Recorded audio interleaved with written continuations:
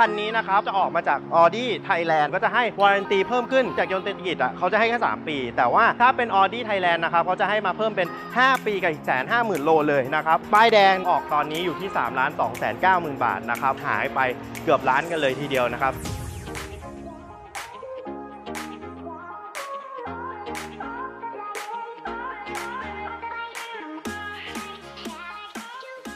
สวัสดีครับพบกับเต็นท์รถคุณหญิงนะครับ วันนี้ผมก็มี Audi TT นะครับ ผมเข้ามาเสริมทัพให้กับเต็นท์คุณหญิงนั่นเองนะครับ วันนี้ผมมี 2 คันมาเลยจะเป็น TT ปี 2018 ทั้งคู่เลยนะครับ แล้วก็เป็นชุดแต่ง S Line แล้ว แต่ผมอะถ้าเกิดจำได้ผมเคยทำ TT มาก่อนหน้านี้ แต่คันนั้นจะเป็นรถของยนตกิจ ซึ่งออปชันเนี่ยก็จะแตกต่างกันไปนะครับ ข้างนอกนะครับ เรื่องดีไซน์อะไรพวกนี้เดี๋ยวผมมาเจาะลึกให้เลยดีกว่าว่าแตกต่างกับตัวที่แล้วยังไงมาเดี๋ยวมาเริ่มกันเลยดีกว่าคันนี้นะครับจะออกมาจาก Audi Thailand นะครับผมก็จะให้วารันตีเพิ่มขึ้นจากยนตกิจอะเขาจะให้แค่ 3 ปี แต่ว่าถ้าเป็น Audi Thailand นะครับเขาจะให้มาเพิ่มเป็น 5 ปีกับอีกแสนห้าหมื่นโลเลยนะครับถือว่าดีเลยนะครับเรามาเริ่มจากข้างหน้าเลยดีกว่า กันชนหน้าเนี่ยจะมีการเปลี่ยนแปลงเล็กน้อยนะครับผมถ้าเกิดสังเกตง่ายๆก็คือข้างล่างนี้นะครับตรงเนี้ยมันจะเป็นบวกนะครับผมอันนี้ที่ผมมารีวิวเนี่ยก็จะเป็นตัว S line แล้วข้างล่างเนี่ยเป็นรูปบวกนะครับผมถ้าเกิดเป็นตัวชมที่แล้วเนี่ยจะไม่บวกอย่างนี้นะครับผมอย่างที่ 2 ก็คือไฟไฟตัวเนี้ยจะเป็นแบบบวก นะครับผมจะเป็นซี่ลงมาอย่างนี้นะครับแล้วเป็น LED ข้างล่างนะครับแต่ว่าถ้าเกิดเป็นของยนตกิจ หรือว่าเวอร์ชันปีประมาณ 16-17 เนี่ยไฟมันก็จะเป็น LED แบบวงลีอันนี้ก็จะเป็นความแตกต่างของไฟนะครับของเจ้า Audi TT โฉมนี้นั่นเอง ข้างๆนะครับผมไม่มีอะไรเปลี่ยนแปลงจะเหมือนเหมือนกับตัวที่แล้วที่ผมรีวิวไปเลยนะครับออกแนว coupe นะครับประตูนะครับกระจกมันไร้ขอบแน่นอนนะครับนี่ข้างล่างก็จะมีนี่แต่งมาเพิ่มขึ้นมาอีกนะครับผมรู้สึกว่ามันสวยคือมันเหมือนเป็น skirt ล่างนี่แหละครับแต่ข้อติข้อนึงแม็กของ Audi เนี่ยที่ออกมาจากศูนย์เนี่ยมันค่อนข้างทื่อๆไปนิดนึงนะครับส่วนมากคนที่ซื้อ Audi TT ไปเนี่ยเปลี่ยนแม็กกันหมดเลยนะครับผมอันนี้ก็จะเดิมๆจากโรงงานบางคนชอบบางคนไม่ชอบ ข้างหลังเนี่ยบอกเลยว่าดีไซน์เรื่องไฟก่อนนะครับเรื่องไฟดีไซน์เนี่ยจะเหมือนเดิมนะครับ แต่เพิ่มเติมตรงที่ว่าถ้าเป็นรถ ปี 2016 นะครับ หรือว่ารถออกจากยนตกิจเนี่ย ไฟขอทางนะครับสองฝั่งเนี่ย ถ้าเป็นของยนตกิจไฟมันจะกระพริบ แต่ว่าอันเนี้ยมันจะวิ่ง จะเป็นแบบใหม่แล้ว ซึ่งผมมองว่าสวยกว่าเยอะเลยนะครับผม เดี๋ยวนี้ Audi ฮิตทำอะไรแบบนี้เยอะมากนะครับ ข้างล่างก็จะเป็นท่อคู่นะครับ เป็นท่อคู่แท้นะครับ มีแต่ง diffuser มาอีกนิดๆหน่อยๆ สวยงามมากนะครับ ท้ายเปิดขึ้นมานะครับ ไม่มีอะไรมากนะครับ เอาไว้วางของอะไรอย่างนี้ก็อาจจะวางไม่ได้เยอะนะครับ ตามสไตล์คูเป้ แล้วก็จะมีนี่ ยางอะไหล่มาให้นะครับผมว่า Audi TT ก็ยังให้ยางอะไหล่อยู่เนาะอันนี้ก็จะเป็นข้อดี ถ้าเกิดเราอยากจุกของเยอะขึ้นจากข้างหลังนะครับก็สามารถพับเบาะได้นี่แค่นี้เลยเราก็สามารถวางของได้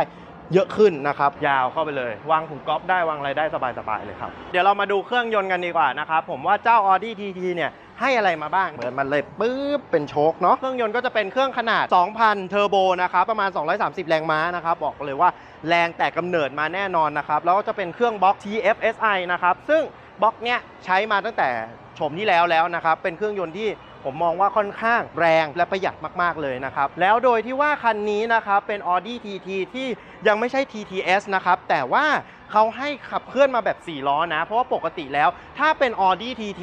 ธรรมดาชมที่แล้วเนี่ยเขาจะให้เป็นขับ 2 แต่คันนี้เขาให้ขับ 4 มาตั้งแต่ Audi TT ธรรมดาเลย ซึ่งผมมองว่าเราไม่ต้องจำเป็นที่จะต้องซื้อ TTS ก็ได้นะครับผมถ้าเกิดเราไม่ต้องการแบบเครื่องแรงๆขนาดที่ว่า จะไปลงแข่งหรืออะไรอย่างนี้ คือสำหรับตัวนี้นะครับ เครื่อง 2,000 เทอร์โบ 230 ม้า พอเพียงแน่นอนสำหรับการใช้ถนนชีวิตประจำวันสำหรับรถสปอร์ตแล้วถือว่าโอเคเลย เกียร์ก็จะเป็น s t o n i c นะครับ แบบ 6 speed นั่นเองนะครับ เป็นเกียร์ที่ใช้อยู่กับ Audi มาค่อนข้างนานอยู่แล้วนะครับ ตัว S tronic แล้วก็มาพัฒนาเพิ่มเติมขึ้นมาทำให้เกียร์ตัวเนี้ยผมมองเลยว่าเวลาขับขี่เนี่ยสนุกเพราะเวลามีการ change เกียร์อะไรอย่างเงี้ยมีเสียงด้วยนะครับ อันนี้ผมก็ไม่รู้เขาไปปรับแต่งมาอะไรยังไง แต่ว่าเพราะมากๆ เดี๋ยวเราไปชมข้างในกันนะครับ ผมว่า Audi TT ตัวเนี้ยจะสวยงามแค่ไหน แล้วก็มีอะไรเพิ่มเติมจากรถยนต์ตะกิจกับ Audi Thailand นะครับผมเข้ามาข้างใน Audi TT นะครับ สิ่งแรกที่เราต้องทำก็คือเปิดแอร์แน่นอนนะครับ การเปิดแอร์ของเจ้ารถ Audi TT เนี่ยผมชอบมากก็คือดีไซน์ของเขานะครับดีไซน์ของเขาเนี่ยเขาบอกว่าเขาได้ออกแบบมาจากพวกเครื่องบินพวก fighter jet อะไรอย่างนี้นะครับอารมณ์ข้างในก็เหมือนพวกขับ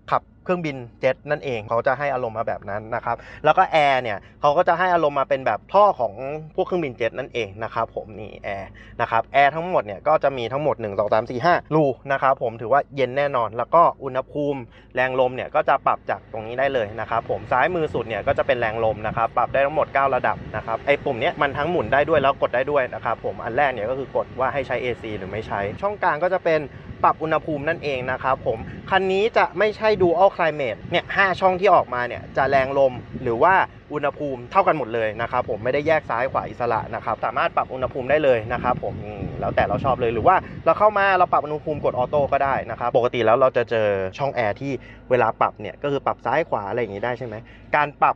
ลมให้ไปทิศทางไหนเนี่ยเราดูจากตุ่มนี้นี่อันนี้นะครับผมนี่จะมีลูกศรชี้ให้ถ้าเกิดเราหมุนขวาเนี่ย มันก็จะออกขวา แรงลมก็จะออกขวา เออ เท่ดี ช่วงแรกๆก็อาจจะงงหน่อยนะครับผม แล้วก็จะมีตรงนี้นะครับ เอาไว้ปิดเปิดช่องลมนะครับผม จากแอร์แล้วนะครับ อันนี้จะเป็นปุ่มออปชันของรถเขานั่นเองนะครับผม ก็จะมีนี่เลย drive select นะครับผม ก็คือเลือกโหมดขับขี่นั่นเอง จะมีทั้งหมดนี่ ผมกดมาปุ๊บ 5 โหมดนะครับผม ก็จะมี auto dynamic individual efficiency แล้วก็ comfort นั่นเองนะครับ เลือกตามใจชอบของเราได้เลยนะครับ แล้วก็ปุ่มที่ทุกคนเกลียด อาจจะไม่ทุกคนนะ ผมคนหนึ่งที่เกลียดก็คือเป็นปุ่ม auto start stop นะครับ ก็เวลาเราเจอไฟแดงเนี้ยรถมันก็จะดับให้เพื่อประหยัดพลังงาน ใครไม่ชอบก็กดปิดจากตรงนี้ได้เลยนะครับ แล้วก็สปอยเลอร์หลังนะครับสามารถยกขึ้นได้นะครับ ผมโดยกดปุ่มนี้ได้เลยนะครับ ลงมาอีกนะครับ ตรงกลางตรงนี้นะครับ ก็จะเป็นปุ่ม shortcut ของหน้าจอนั่นเองนะครับ ผมก็จะมี Navi Telephone Radio Media นะครับทั่วไปแล้วก็อันนี้ก็จะเป็นปุ่มหมุนซ้ายหมุนขวาที่เราใช้บังคับหน้าจอของรถรุ่นใหม่ๆพวก BM Benz อะไรพวกนี้ออดีก็จะใช้เหมือนเหมือนกันนะครับจากแผงตรงกลางเรียบร้อยแล้วนะครับผมก็จะมาที่ตรงพวงมาลัยเรานั่นเองนะครับพวงมาลัยใหม่ของ Audi เนี่ยผมบอกเลยว่าค่อนข้างสวยมากๆ ในใจผมชอบที่สุดแล้ว แล้วก็อย่างที่ผมบอกนะครับหน้าจอทุกอย่างของคันนี้นะครับจะอยู่ตรงกลางนี้หมดเลย ใครที่นั่งอยู่ข้างซ้ายเนี่ยไม่ต้องมีหวังที่จะได้เล่นอะไรเลย เพราะว่ามันอยู่ตรงนี้นะครับผมก็จะให้คนที่ขับรถเนี่ยเล่นให้แทนละกันนะครับแล้วก็อย่างที่ผมบอกคือภายในเนี่ยมันก็จะมีการเปลี่ยนแปลงนิดนึง เช่น ถ้าเป็นยนตกิจเนี่ยเขาจะไม่ให้เนวี่มาให้นะครับผมคันนี้ก็จะให้เนวี่ไทยมาให้เลย แล้วซึ่งเนวี่ของคันนี้ผมมองเลยมันสวยมากๆนะครับผมนี่สามารถซูมเข้าไปได้ด้วยเลยนะครับผมเล่นได้หมดเลยนะครับเซิร์ชหาทางไปอะไรพวกนี้ได้เลยนะครับผมแล้วก็ถ้าเกิดเรากดวิวบนพวงมาลัยนี้ปุ๊บอ่านี่ตัวพวกเกย์ทั้งหลายแหล่ก็จะขยายใหญ่ขึ้น ต่อมาเดี๋ยวเราไปดูข้างหลังกันนะครับผมว่าคันนี้เราสามารถนั่งได้หรือนั่งไม่ได้นะโดยที่คันนี้มันเป็นแบบคูเป้นะครับผมแต่ว่าเป็นสี่ที่นั่งนะครับ เมื่อกี้ผมนั่งหน้าเนี่ยอะผมพับเบาะขึ้นมาก่อนผมนั่งหน้าเนี่ยก็คือเป็นไซส์ที่ผมนั่งเลยนะ ผมสูง 170 กว่านะครับ อ้วนก็นั่นน่ะอ้วนอยู่ประมาณ 80 โล บอกเลย แค่พับบอกผมก็ก้าวเข้าไปไม่ได้แล้วเนี่ยมันไม่เหลือมันไม่เหลือพื้นที่ให้ลงไปแล้วนะครับผมแต่ว่าถ้าเกิดเราต้องไปสี่คนจริงๆเนี่ยก็ต้องขอให้คนนั่งหรือคนขับเนี่ยขยับขึ้นมานิดนึงนะครับ ผมให้อย่างน้อยก็สอดขาเข้าไปนะโอ้ยอะสอดเข้าไปแล้วโอเค มีพื้นที่ให้สอดหน่อยอะอย่างแรกเลยนะ พื้นที่ขา ไม่เหลืออยู่แล้วนะครับผมปิดลงมาเข่าผมก็ไม่เหลืออยู่แล้วนะครับ ก็ต้องขอพื้นที่เพิ่มเติมอะไรอย่างนี้ก็ว่ากันไป แล้วหัวเนี่ย เนี่ย นั่งตรงไม่ได้ นั่งได้อยู่ นั่งได้อยู่อย่างนี้เลยนะครับ ผมก็ไม่สามารถนั่งได้นะ ก็ใครที่คิดว่า เอ้ย ซื้ออ่าตัวทีทีเพื่อมีคนนั่งหลังอะ อย่าคิดเลย เอาไว้วางของดีกว่านะครับผมเพราะว่าถ้าเอานั่งเข้าจริงๆอะนั่งไม่ไหวแน่นอนนะครับสำหรับ Audi คันนี้นะครับผมสำหรับวันนี้นะครับผม Audi 2คันนี้นะครับผมเริ่มจากข้างขวามือของผมก่อนเลยดีกว่านะครับคันนี้นะครับจะเป็น Audi TT S Line ปี 2018 หน้าใหม่เรียบร้อยแล้วนะครับออก Audi Thailand มานะครับผมก็วารันตีก็เหลือเนี่ยนะไปด้วยกันเลย 19 20 21 22 23นะครับถึงปี 2023 ก็อีก 3 ปีเต็มๆเลยนะครับผมมีวารันตีศูนย์อยู่เหลือนะครับ วิ่งมาแล้วประมาณ 11,000 กว่าโลเท่านั้นเองนะครับ ผมน้อยมากๆนะครับผมแล้วก็ราคาที่ผมเสนอขายอยู่เพียงแค่2ล้าน4แสน9หมื่นบาทเท่านั้นนะครับผมกับไม้น้อยๆ หน้าใหม่ตัวนี้นะครับป้ายแดงนะครับผมออกตอนนี้อยู่ที่3ล้าน2แสน9หมื่นบาทนะครับผมก็ถือว่าหายไปเกือบล้านกันเลยทีเดียวนะครับสำหรับ Audi TT คันนี้นะครับผมอะมาฝั่งซ้ายเหมือนกันนะครับเป็นฝาแฝดกันเลยนะครับผมปีเดียวกันแต่ไมค์คันนี้อาจจะ เพิ่มขึ้นนิดนึงนะครับอยู่ที่ประมาณ 19,000 โลนะครับผมราคาตั้งขายอยู่ที่เท่ากันนะครับผม2ล้าน4 9 0 0 0 0 บาทนะครับผมใครที่หา Audi TT อยู่มาที่ผมได้เลยมี 2 คันให้ชมให้เลือกกันก่อนเลยสำหรับวันนี้นะครับผมก็ขอบคุณสำหรับการติดตามใครที่ชมชอบนะครับ ก็ฝากกดไลค์กดแชร์กด subscribe ด้วยเพื่อเป็นกำลังใจให้นะครับ สวัสดีครับ